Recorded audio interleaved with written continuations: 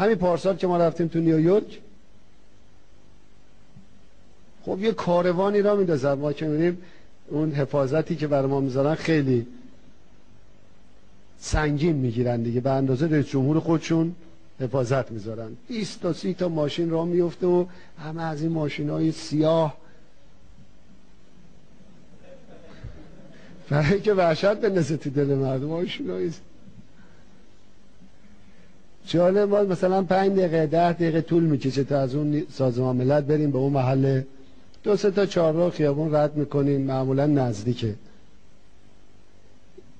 این مردم وای میسن کنار خیابون همون مردم همونجا.